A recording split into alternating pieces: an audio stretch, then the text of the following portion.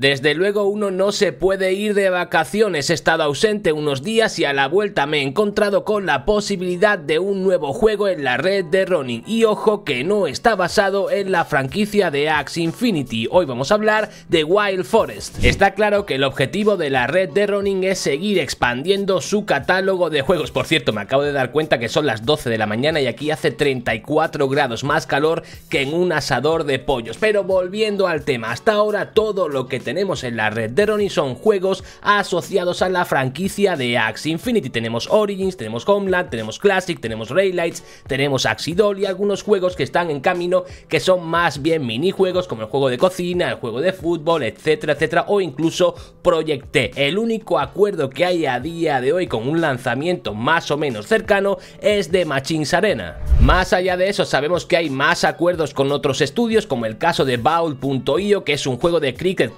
claramente orientado a un público más oriental, a un público indio, por ejemplo, porque el cricket es muy popular allí, y el desarrollo de un MMO llamado Trivesters que todavía no tenemos demasiada información al respecto. El caso es que durante el día de ayer me encontré con este tweet de, de The Guillotine, que es un miembro de la comunidad francesa, con un trailer de un juego y al final de ese trailer ponía Powered by Running. No os preocupéis que el tráiler lo vamos a ver a continuación, pero ante esto dije, what the fuck, no han anunciado nada, no hay ningún tipo de anuncio oficial, ¿qué diablos es esto? Así que me he puesto a investigar, me he metido en la página web de Wild Forest y he sacado bastante información. Lo primero es el desarrollo de un juego web 3, lo segundo, misteriosamente si le das botón derecho a abrir esta imagen, abrir el logo en una pestaña nueva, pone el nombre de la imagen es logo-running y en el trailer que vamos a ver ahora mismo es este de aquí, vamos a verlo porque al final pone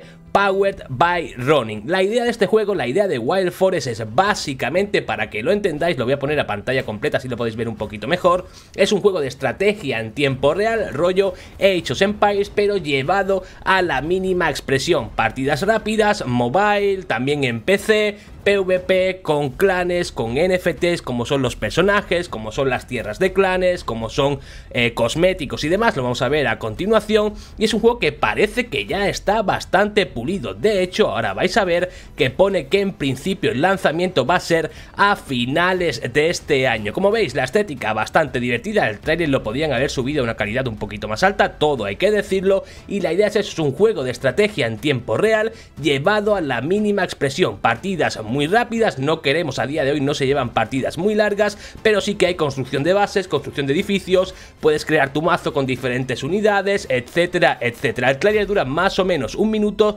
se llama Wild Forest el juego y aquí lo dice Coming This Fall y Powered by Running. Repito, aunque no hay confirmación oficial del lanzamiento de Wild Forest en la red de Ronin, parece bastante evidente y el anuncio podría producirse en los próximos días. Aquí nos comentan un poquito más en detalle en qué consiste Wild Forest. Es un juego móvil que también va a estar para PC de estrategia en tiempo real, con batallas PvP y elementos de cartas coleccionables. Los jugadores pueden experimentar el sentimiento, ese feeling old school de los juegos de estrategia en tiempo real, pero con batallas más rápidas caracterizadas por construcción de bases, eh, manejo de recursos macroeconómicos y control individual de las unidades. Si seguimos echando un vistazo a la página web, aquí tenemos el tráiler que acabamos de ver y aquí nos comentan que es Wild Forest. Nuestro objetivo es aumentar el estándar de los juegos web 3. Wild Forest no requiere ninguna inversión inicial o ningún conocimiento de la blockchain para empezar a jugar. Nuestro objetivo es mejorar los inicios en la experiencia Web3 y hacerla accesible a jugadores tradicionales de PC,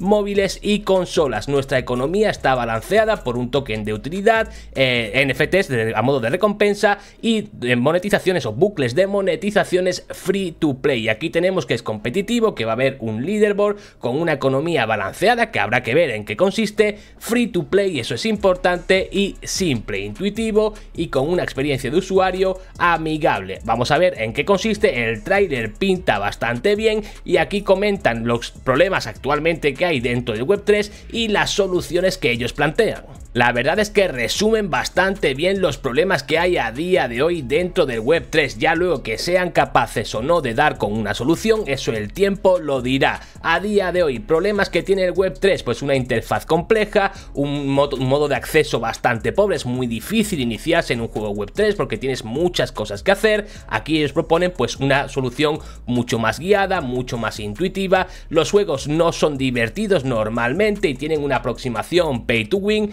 aquí ellos la solución que proponen es que hay un gameplay que está ya probado, digamos que ya es tangible y un juego que se base en la diversión y en la, eh, habilidad. Luego, initial investment, es decir, que haya inversión inicial en el caso de eh, Wild Forest, dicen que no va a necesitar inversión inicial para comenzar a jugar. Otro de los problemas que hay a día de hoy es que los sistemas que hay son muy complicados y centrados en la blockchain. Aquí dicen ellos que no se va a necesitar ningún tipo de conocimiento sobre la blockchain y luego token de utilidad limitados que son más bien sistemas Ponzinomics y ellos abogan o dicen abogar por una visión de token controlada y por una economía basada en NFTs. Pinta bien, repito, la estética pinta bien, la jugabilidad pinta bien, el género me parece muy interesante, un juego RTS, un juego de estrategia en tiempo real pero adaptado a móviles y con partidas rápidas, todo pinta muy bien la verdad. Por cierto, si os fijáis en la parte inferior derecha de la pantalla hay un símbolo de dólar que normalmente suele significar o suele referirse a un token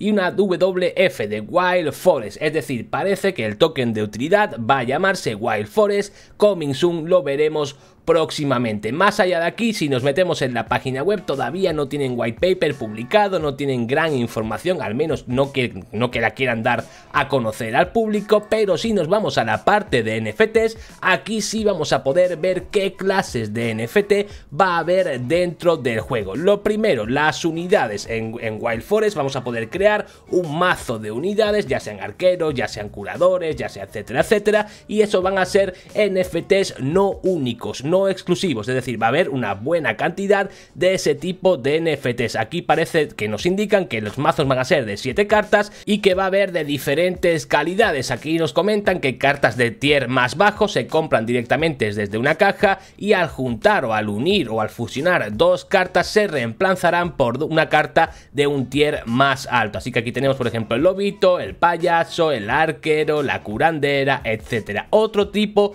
de NFT que, hablar, que habrá, perdón, la tienda de, perdón, la tierra de los clanes. Los, los, Zeppelin NFT garantizan acceso a las guerras de clanes. Esta es eh, una competición dinámica y excitante entre clanes con grandes recompensas. La mayor parte de la tesorería del juego irá a las recompensas de las guerras de clanes. Así que aquellos que quieran jugar a modo competición con clanes, aquí van a encontrar un NFT que seguramente van a tener que comprar. Me hipea bastante todo esto, me gusta el mecanismo que haya un NFT, que puedas crear un clan, que puedas tenemos, tener batallas con tu clanes, todo eso me parece espectacular. Y luego habrá skins de unidades y de la base y avatares para tu jugador. Más cosillas sobre el juego, he traducido la página web al castellano, que aunque tenga algún fallito va a ser más fácil para todos entenderla y poder leerla. Juego estrategia en tiempo real con control directo de unidades, es decir, vamos a tener que construir edificios, vamos a tener que mover las unidades y vamos a tener que vencer a nuestro enemigo rondas PvP de ritmo rápido de 5 minutos, partidas rápidas que es algo que prácticamente nunca se ha visto en un RTS, en un juego de estrategia en tiempo real, partidas muy rápidas, batallas fáciles de aprender y basadas en habilidades, equilibrio de contraunidades, es decir, va a haber unidades de un tipo y va a haber otro tipo de unidades que hagan counter a esas unidades y una amplia variedad de tipos de unidades. Construye una base para expandir el territorio y acceder a unidades avanzadas, la construcción de bases y las unidades generan energía que se recarga con el tiempo y las minas que habrá por el mapa, entiendo, aumentan la tasa de recarga de energía. Aquí nos comentan, un jugador puede usar hasta 7 cartas de unidad en la batalla y habrá más de 25 unidades disponibles en el lanzamiento. El equilibrio de las contraunidades y la variedad de tipos de unidades aportan mucha variedad táctica al campo de batalla. También nos comentan por aquí que las batallas tienen lugar en varios mapas. Parece ser que habrá varios mapas distintos donde puedes dar rienda suelta a tus habilidades estratégicas. La gestión inteligente de los recursos y el rápido desarrollo de la base son cruciales para la victoria en cada batalla. Algo que me ha sorprendido es el ciclo día-noche. Utilizo un ciclo día-noche para obtener ventaja táctica. Todo el campo de batalla es visible durante el día y cubierto por la noche por, con niebla de guerra. Esto abre varias operaciones encubiertas y oportunidades de emboscadas. Es decir, tú durante el día construyes, el rival puede ver lo que tú estás haciendo, cae la noche, puedes mover tus unidades sin que el rival pueda ver lo que estás haciendo. Y por último, control de territorio. Toma el control del territorio moviendo tus tropas a áreas específicas. Derrota las tropas enemigas, coloca tus propias unidades en un nuevo territorio y espera mientras sus fronteras cambian de color. Y por último tenemos aquí algunas unidades como son por ejemplo el arquero, aquí tenemos también la curandera, tenemos el una unidad de extremadamente largo alcance con un gran daño, tiene mala salud, se mueve muy lentamente y requiere entrenamiento antes de disparar, si toma posición podrá defenderse eficazmente los puntos así como atacar edificios y unidades del rival desde lejos, tenemos el caballero y por último tenemos el arlequín, recordad que en total va a haber 25 unidades, al menos eso dicen, con el lanzamiento del juego que según nos comentan en el trailer se producirá a finales de este año. La verdad es que he de reconocer que esta noticia 1 me ha pillado bastante por sorpresa y 2 ha conseguido crearme bastante hype. El género del juego me parece perfecto para móviles, para ordenador, un sistema competitivo, un sistema de clanes bien ejecutado al menos en apariencia y ya todo lo que queda es esperar al anuncio oficial y esperar al lanzamiento del juego. Me encantaría que dejaseis en la sección de comentarios qué os ha parecido y poquito más. Un saludo y hasta luego.